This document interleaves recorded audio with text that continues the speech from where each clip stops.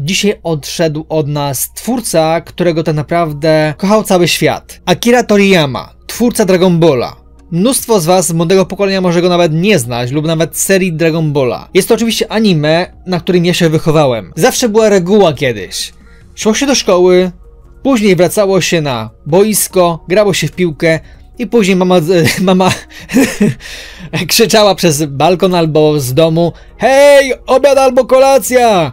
I godzina 17 wybiła i każdy musiał być w domu przed telewizorem na ARTL 7, żeby obejrzeć kolejny odcinek Dragon Balla. Tak oczywiście ja pamiętam niesamowicie ten czas, że Dragon Ball był w moim e, życiu od zawsze. Jakieś chyba może 4 lata temu obejrzałem jeszcze raz całą serię, bodajże chyba DBZ, a później przeskakiwałem, żeby nadrobić zaległości tych odcinków, które nie obejrzałem. Sam twórca od zawsze pamiętał o tym, żeby nie tworzyć mangi jakiej samej w sobie, żeby nie realizować tego jako projekt, a bardziej jako coś satyrycznego. I oczywiście dlatego też stworzył Son Goku, jak też wszystkie inne postacie, które w większości starały się żartować. No i między innymi oczywiście tutaj postać jaką jest Roshi, czyli nasz e, żółw, wielki żółw. Matko, nie pamiętam jak się nazywał. w każdym razie Master Roshi to wiem z angielskiego, ale japoński, nie pamiętam, polskie było chyba e, genialny żółw, genialny żółw. To tak, to Master Roshi, genialny żółw. To nie jest tak, że ja wszedłem tylko do Pokémonów i to pamiętam. Nie, ja oczywiście byłem w Dragon Ballu, by teraz byłem w Pokémonach i teraz jestem w One Piece, ale Pokémon oczywiście są tutaj już odzownym elementem, jeśli chodzi o nasz kanał. Bo oczywiście Pokémon Go to jest takie jakby osobne uniwersum, ale jednocześnie w tym samym też siedzimy. Dobra, koniec tej nostalgii. Dziękuję oczywiście za wysłuchanie. Ci, którzy nie, nie skipnęli, to też jeszcze bardziej dziękuję. A teraz przejdźmy do informacji bieżących Pokémonach. Zacznijmy od przede wszystkim jednej rzeczy, czyli w Pokémon Go w tej chwili daje nam możliwość odblokowania nowego researchu poprzez wpisanie do specjalnej strony, którą, którą oczywiście macie w opisie i w komentarzu, a jak nie, no to oczywiście również na Twitterze i na Facebooku. Wpisując Captain Pikachu odblokowujecie specjalny research, który nam daje konkretny e, reward. Macie darmowy research w ramach tego wpisania tego kodu do, na stronę lub też w aplikację, o ile oczywiście na niektórych Androidach też dalej funkcjonuje. Jeśli chodzi o Pokémon Go, wiele osób już rok temu mówiła, że to już idzie do piachu, że to już nie będzie kontynuowane, że tak naprawdę to już się skończy i padnie. Jednakże mamy kolejny dowód na to, że Pokémon Company dalej wierzy w to, że ten projekt, jakim jest Pokémon Go, jest yy, sukcesem. I dalej będzie sukcesem. To jest dowód przede wszystkim taki, że mamy profesora researcha naszego Willowa w anime. Wcześniej stronili od tego, mimo że były tutaj raporty odnośnie tego, co miało być w powiązaniu e, w kampaniach pomiędzy Pokémon Go i Pokémon Company, jak też oryginalną serią gier, tak oczywiście tu wprowadzili w anime naszego profesora Willowa. No i oczywiście, żeby nie mówić tutaj, że Pokémon Go odchodzi do Lamusa, to pragnę wspomnieć, że mimo, że wczoraj ogłosili sam Go Fest, to dzisiaj, w ciągu nawet niespełna 24 godzin, wykupili wszystkie bilety na każdy dzień Go Festu w Japonii. W Japonii Pokémon Go jest potężne, ale z Europy pochodzi mnóstwo graczy, którzy są na top listach najlepszych graczy Pokémon Go, jeśli chodzi o rekordy. Także może mniej jesteśmy fanami, jeśli chodzi o region, ale wciąż możemy to nadrobić. Mam nadzieję. nie, naci- nie tylko nie naciągam, nie to nikt mnie nie sponsoruje na, na razie. Też to co mówię jest oczywiście w pełni tutaj moimi słowami, a nikt mi tego nie włożył do ust. Kilka osób dociekało się informacji odnośnie tego w końcu kiedy jest GoFest Global. No i zawsze mówiłem, ej, ale ja powiedziałem to na odcinku. Kochani, Global jest Później jest w lipcu, bo zawsze musi być event w trzech regionach i dopiero na końcu, tydzień po ostatnim evencie GoFestowym jest Global. No ale ktoś mi napowiedział, że na stronie jest, jak też na tikecie jest GoFest w czerwcu. Co jest grane? I patrzę, faktycznie, wszystkie inne strony, jeśli chodzi o inne języki, pokazują datę, jaką jest lipiec. Jednak polska strona pokazuje co innego. Polska strona pokazuje, że mamy GoFest 13 i 14 czerwca, czyli bodajże w środę i czwartek. Napisałem do Niantic, mają to skorygować z local, Localization Teamem. Możecie przekazać babci, która być może też czyta e, stronę główną, a nie ogląda mnie, że i GoFest Global jest 13-14 lipca. zaraz tydzień po New York e, Go. Jeśli chodzi jednak o ceny biletów, też mieli się tutaj dyskusje na wielu portalach, na wielu e, tutaj mm, grupach dyskusyjnych, discordowych lub też ogólnie na facebookowych i tak dalej, że ej, bilet kosztował 65 zł wczoraj, a później wyłączyli i kosztuje 85. Hello! 10 dolarów to nie jest 60 zł, ani 80. No i macie tu i rację. Jednakże tutaj było to wiadome, że będą wyższe ceny niż w Ameryce, bo po jakichś zmianach europejskich, sorry, ale te zmiany oczywiście zaobserwowaliśmy w cenach za różne rzeczy w Pokémon Go, Między innymi oczywiście te, które były cyfrowe, tak i też i tutaj cyfrowe rzeczy zostały mm, jakby nałożone zostały marże, które Niantic musiało dopasować do tego, co jest w zarówno Google Store, jak i też Samsung Store, jak i też iPhone Store. Nie chcę ich bronić w żadnym, w żadnym wypadku. Bo oczywiście mamy tutaj inną walutę, która oczywiście nam pomaga z tym się, jakby z tym walczyć, ale jeśli chodzi o polską walutę, no to faktycznie troszkę przegięcie. 85 zł. W momencie, kiedy nikt nie kupował jeszcze żadnego produktu z Niantic Store'a, to macie możliwość kupienia tego biletu za 72 zł, to jest wciąż lepiej. No ale to tylko raz możecie to zrobić, bo jednak store jest przypisany do konta. Chyba, że wiecie, rejestrujecie się na innym koncie, kupujecie dla innej osoby ticket, bo tak chyba można. Jak nie, to poinformujcie mnie, bo jeszcze tego nie próbowałem.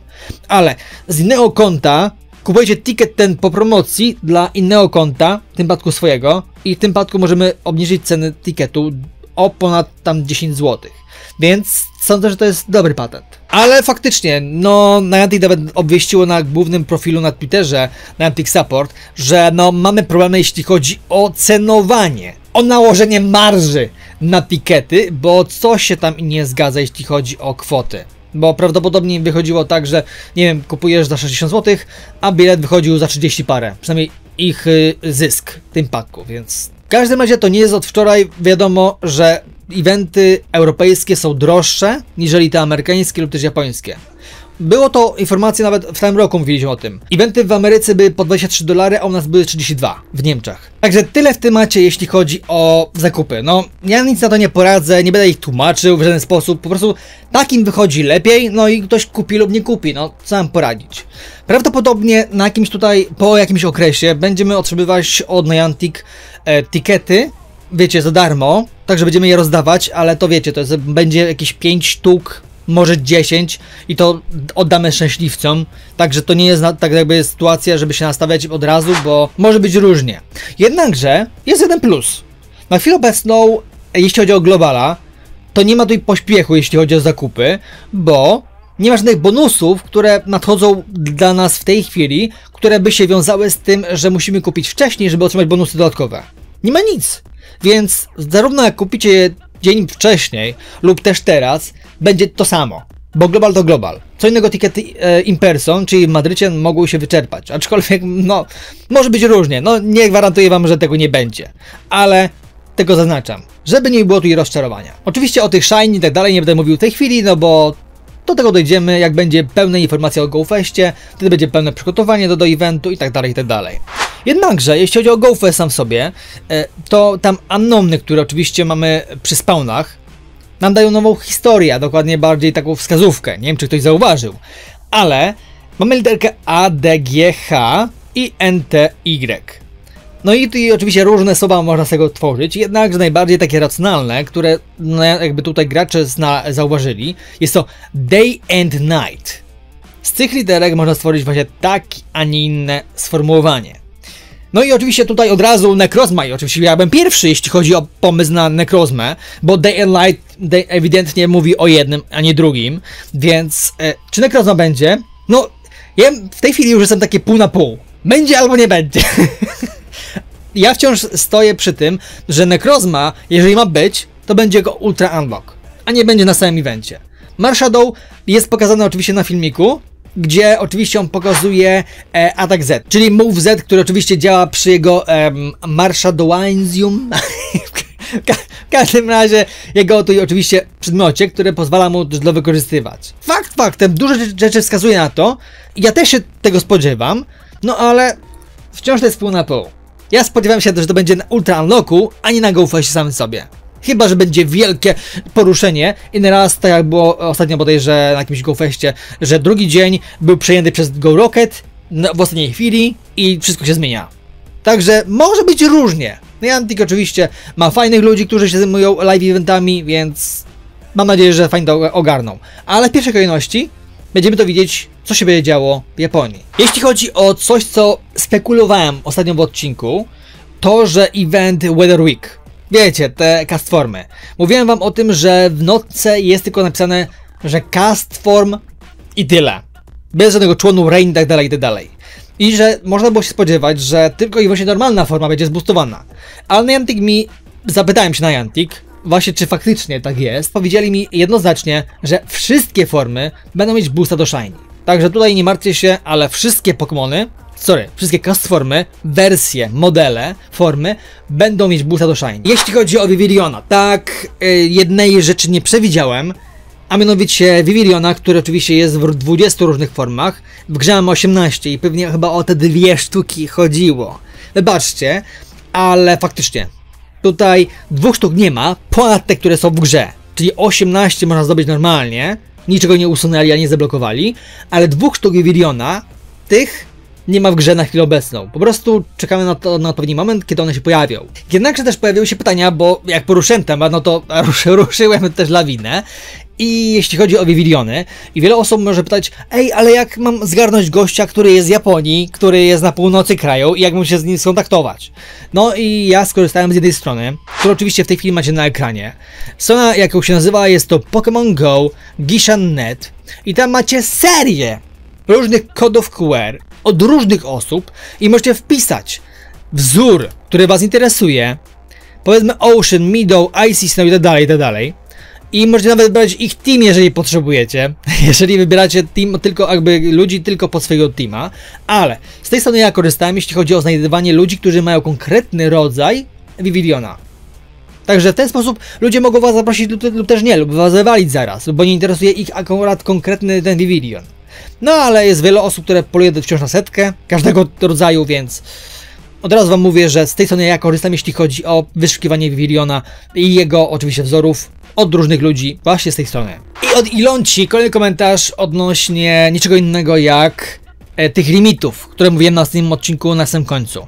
Limity na, na łapanie. To się też zgadza, bo mimo, że sięgniemy tych limitów na łapanie i nakręcenie stopów, to używając Pokémon Go Plus Plusa, on przerywa ten limit i można dalej łapać. Także, mimo, że możecie mieć limit na Pokémony łapane w ciągu dnia lub tygodnia, to później odpalacie Pokémon Go Plus Plusa i on dalej kręci i dalej łapie. Także dla tych, którzy chcą osiągać dalej jakieś tam rekordy łapania Pokémonów w ciągu tygodnia, miesiąca i tak dalej. I to w gruncie rzeczy tyle w tym odcinku. Zostawcie łapkę w górę dla supportu kanału i widzimy się następnym razem. Trzymajcie się. Heja!